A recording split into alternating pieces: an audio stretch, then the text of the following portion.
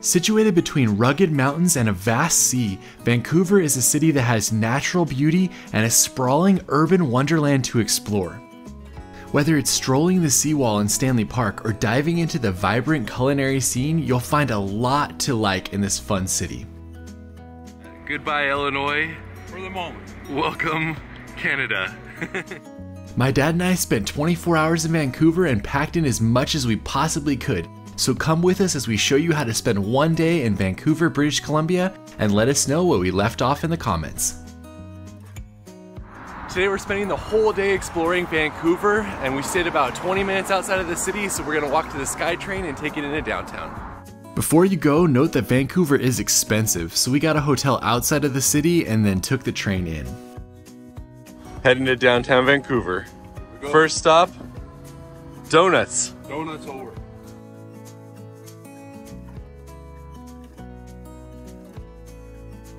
Pro tip for the SkyTrain, try to get this view right here so you can watch the city as you're going. It took us about 30 minutes and we had to do one transfer, but overall it was relatively easy to get all the way into downtown Vancouver via the SkyTrain.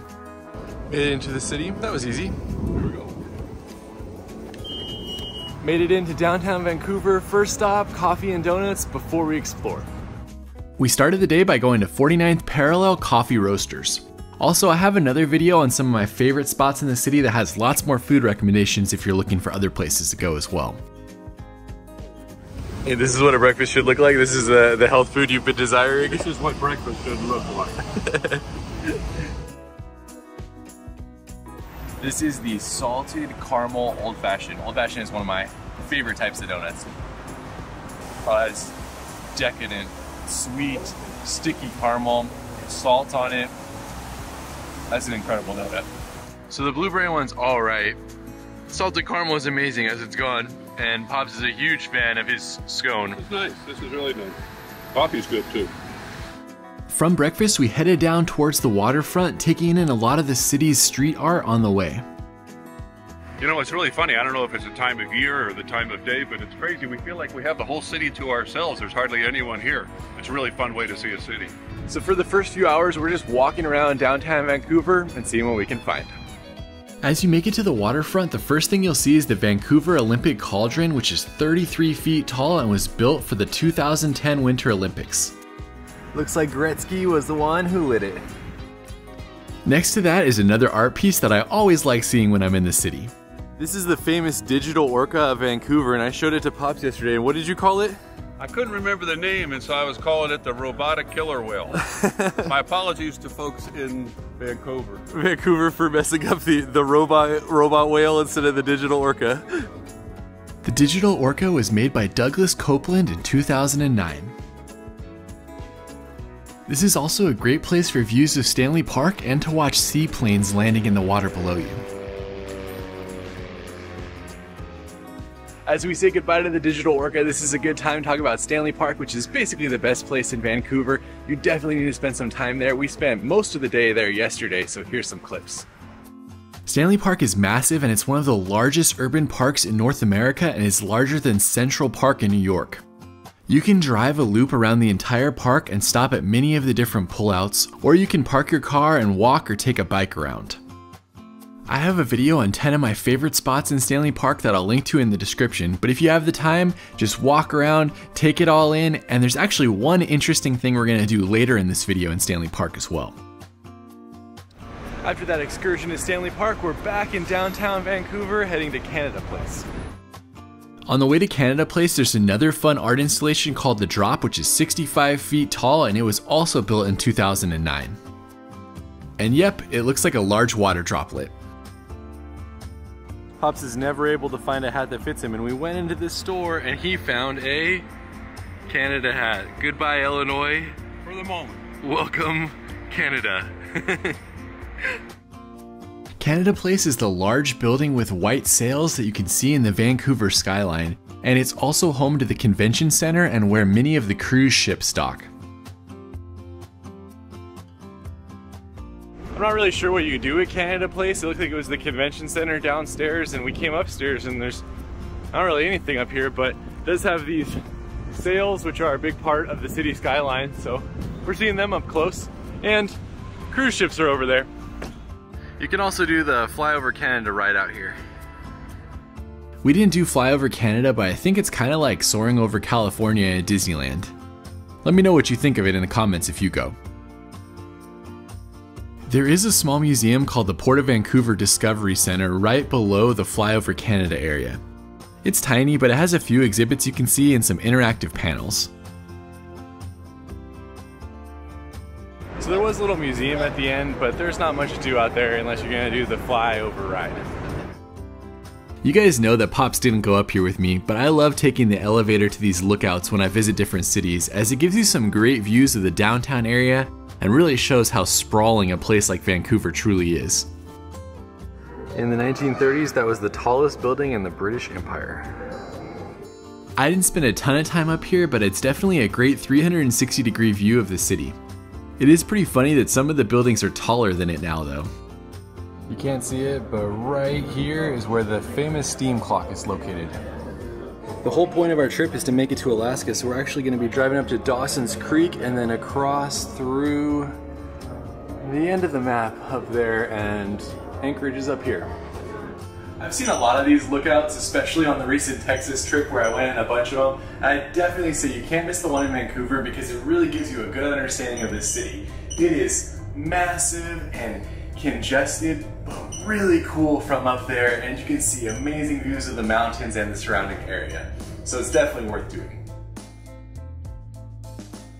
After making it back down, I met up with Pops again and we headed towards the Gastown area of Vancouver to see one of the city's most popular attractions, the Gastown Steam Clock. The historic steam clock goes off every 15 minutes, but it's best to see at the top of the hour. The steam clock was built in 1977 and was originally powered by steam, but is now powered by electricity.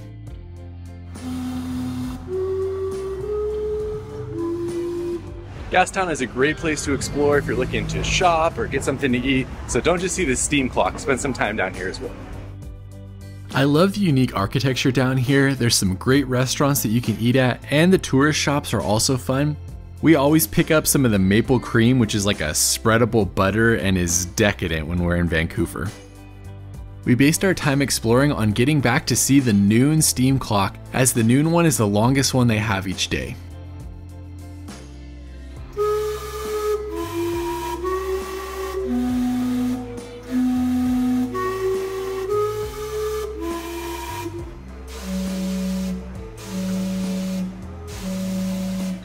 That's like our fourth time watching the steam clock on this trip, and I have to say, it's a fun little spot in Vancouver. Yeah. Definitely worth doing. Absolutely.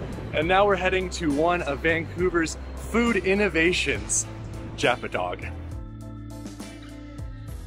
Japadog started as a street food stand in 2005 and now it has multiple locations all around Vancouver and is one of the most iconic foods in the city. The website states that they specialize in hot dogs with Japanese inspired toppings, such as teriyaki sauce and even seaweed flakes. I got the number 13, which is the most ordered meat option. Pop's got the number five, which is a spicy one. We got Japanese curry poutine, and I don't remember how to say these, but they're some type of wasabi mayo balls. Right, number 13, you got fried onions, you got a teriyaki mayo, and you got some type of seaweed on top. Cheers. It tastes like it has a sushi flavor, but with the hot dog. So it's like American and Japanese. I don't even know like what I'm eating right now, but I definitely really like it.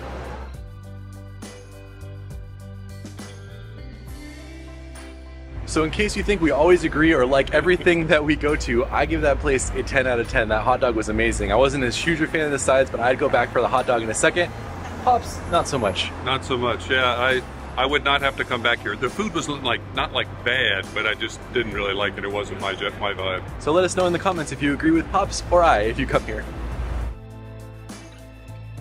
From the downtown area, we took an Uber over to the English Bay and we're gonna walk along the water and make our way towards Granville Island.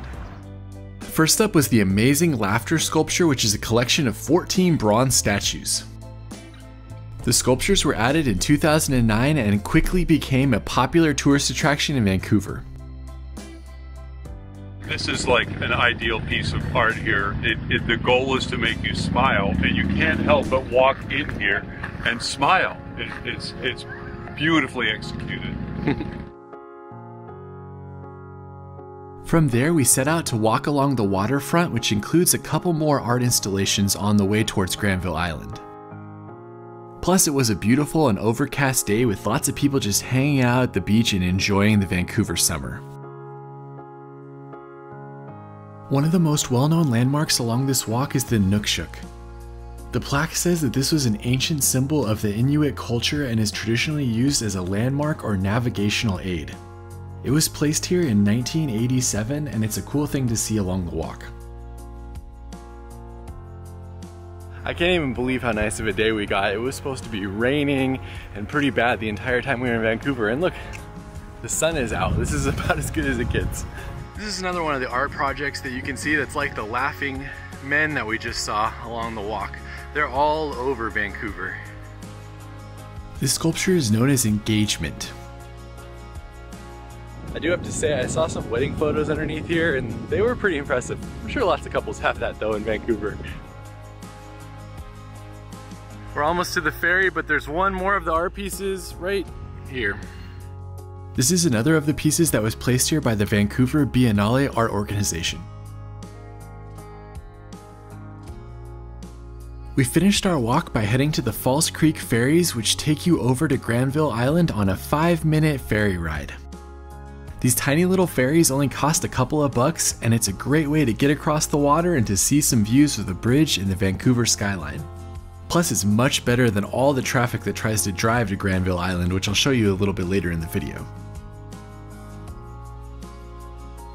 We made it to Granville Island. Granville Island has a storied history where it was a small sandbar and then it became an island and then it got filled in and connected to the mainland and then it was used for an industrial area before becoming what it is today, a place with markets, shops, lots of places to eat, and just an overall fun spot for people in Vancouver to visit. The Granville Island Public Market is the main attraction here and it was incredibly busy and even hard to walk around when we were there. Because of this, we just headed to Lee's Donuts, which many people told us that we had to have when we were in Vancouver. And you know I never pass up a good donut. Okay, so we got honey dip, cinnamon, and raspberry filled. This is the most well-known and popular one. It's the honey dip. It's just a honey glaze. Good doughy consistency, sweet, melts in your mouth. What's not to like? It's a classic donut. I would say it's very good.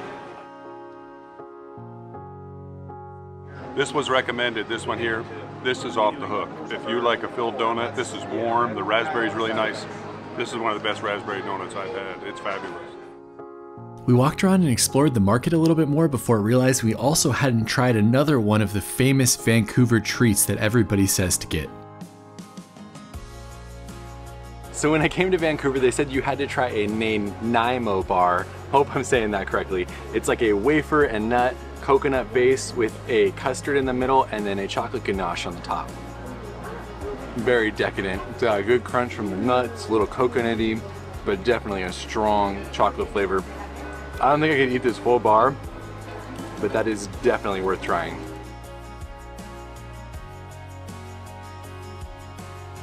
This area is a legit madhouse on the weekend, but it is really fun and you definitely have to come down here and explore art and music and food.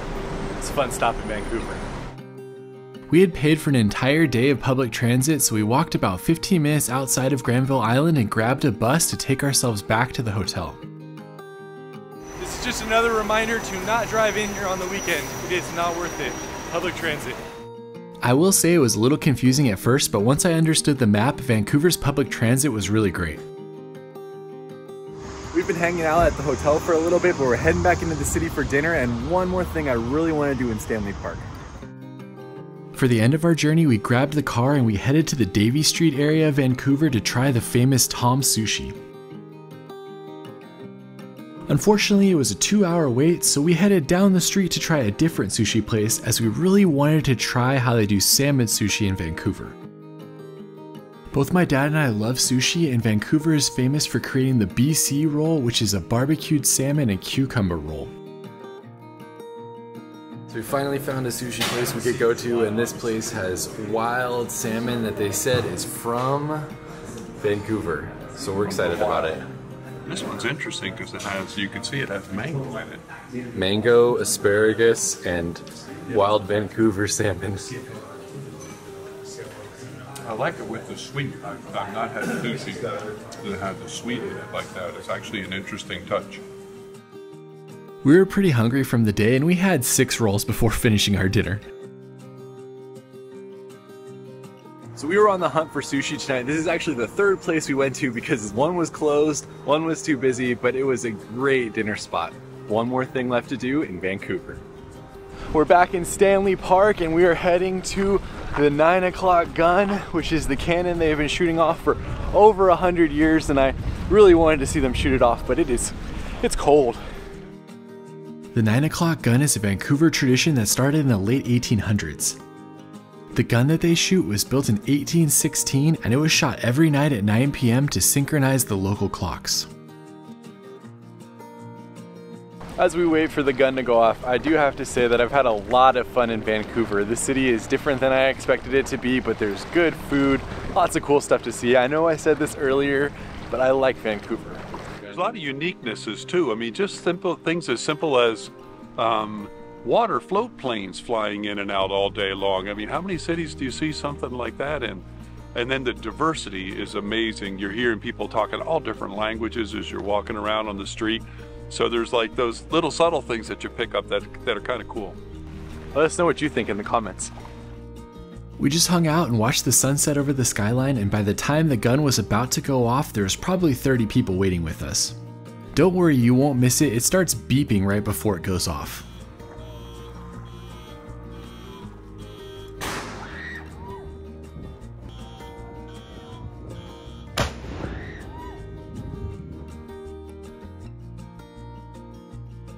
And with a bang, our time in Vancouver is over. Hopefully you enjoyed exploring the city with us. That's not the end of our journeys though. We're heading all the way to Alaska. So next up is the Sea to Sky Highway to Whistler, which we're gonna do tomorrow and you can watch up here when it's posted. But until then, we can see you on the next video.